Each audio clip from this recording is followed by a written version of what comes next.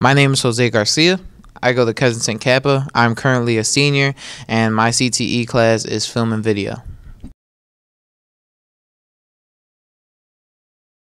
My experience at PSTV has been very fun. It's been a great work environment, especially I've been here. I was here last year, and I'm here again this year, and I came out with knowing more. Um, this year, I became more of a better leader. I feel like, uh, and I became more like team worker. I've been more better with that.